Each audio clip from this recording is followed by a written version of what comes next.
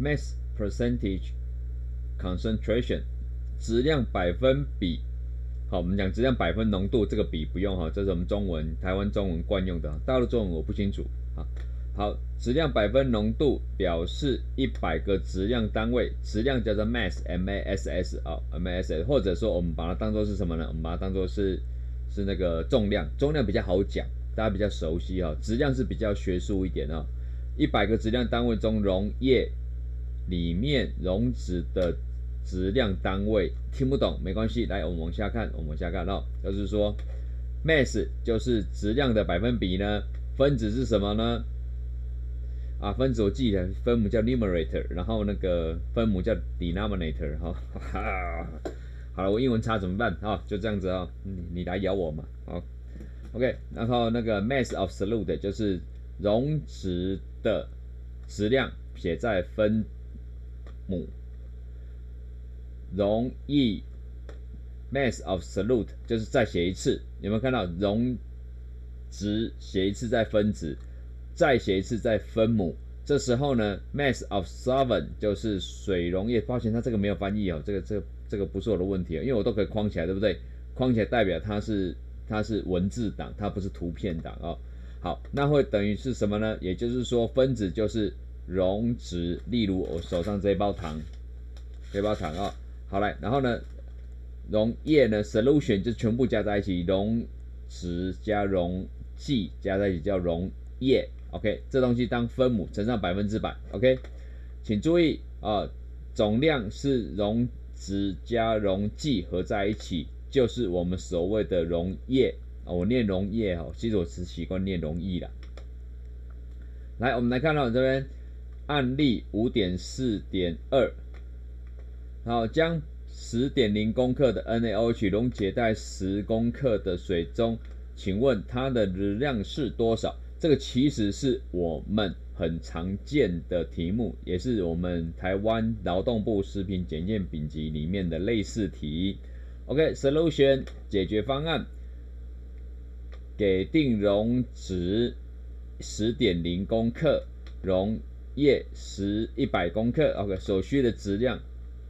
请问它是多少质量百分比？公式在这边，公式在这边。分子呢，就是所有的东西。分母呢，两个东西都跟着。分子的话，对不起啊，现在是半夜十二点半了哈，在录影，所以对不起，有点语无伦次啊。来，对不起，分子呢是溶质，分母是两个加在一起，这样很好记哦。所以呢，这样算出来是多少呢？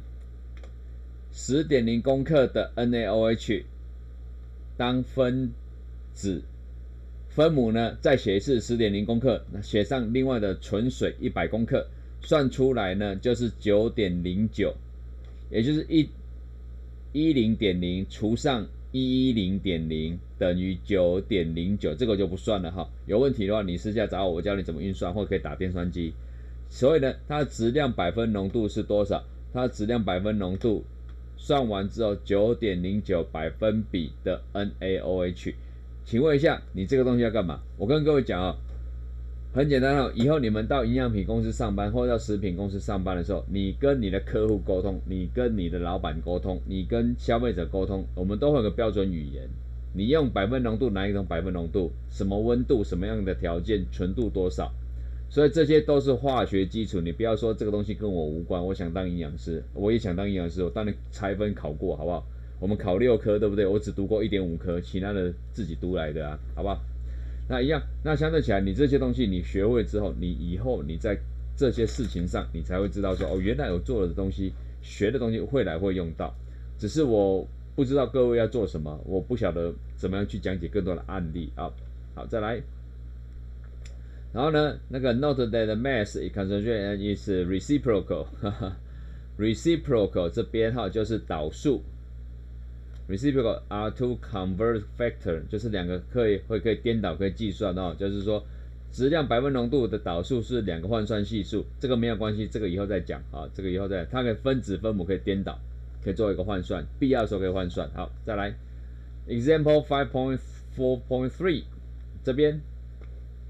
Neosporin 啊，Neosporin，OK，就是叫做新孢菌素，这个在微生物学里面会学到哦。好，这个字这个字你背不背没有关系，Neo 这个字是新新旧的新，这是字根啊，字首的意思啊。在 Sporin，Spore 就是 A P O R E 是微生物背到单字，不我不虐待大家了啊，只是我背景是微生物，看到会比较好。OK，Antibiotic 就是抗生素，这个字我们保语系要背，Antibiotic。is a 3.5% m over m neomycin solution，就是百分之三 neomycin 这个东西呢是新霉素的 solution。请问 how many grams？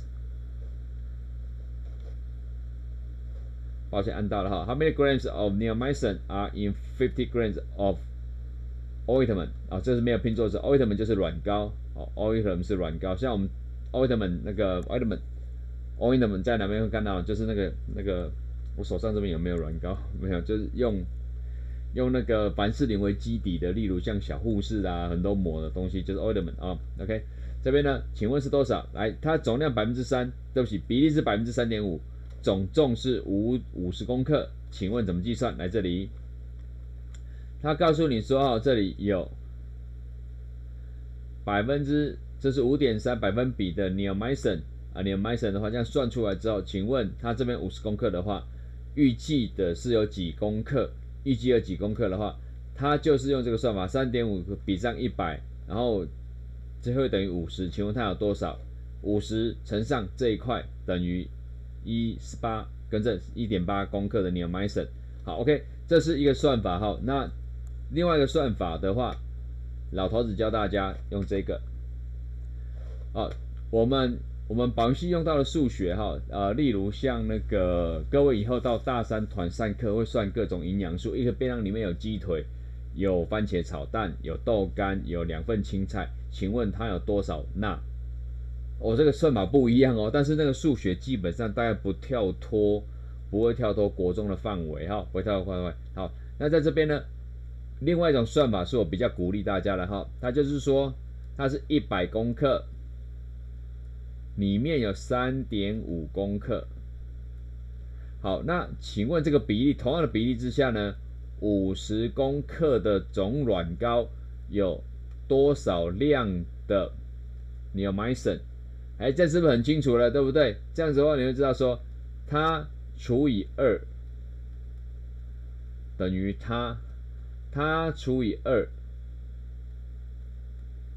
哎，江老师，我问你一个问题哦，这边是三点五克啊，三点五克的话，三点五克，我我心算很厉害，我跟你讲哈，三点五克除以二就等于一点七三十四，一点七五克啊，这边应该是一点七五克，但是为什么答案给你一点八公克？一点八公克啊，因为很简单，因为这边的话有效位数三点五是两位，因此算出来的时候呢，一点七五是三位，对不对？它有效位数小数点后面一位的话取这样就好，答案就是一点七，后面四舍五入进来就变成一点八。抱歉啊，这应该先讲另外一个章节的，但是我觉得慢慢讲哈，各位各位就当做自己没有底子，重新开始来学这一段。好，OK，这一段如果没有状况的话，我们准备再往下讲到体积百分比，体积百分比。好，那接下来我会到时候用 PHED 给大家看，各位会更有概念。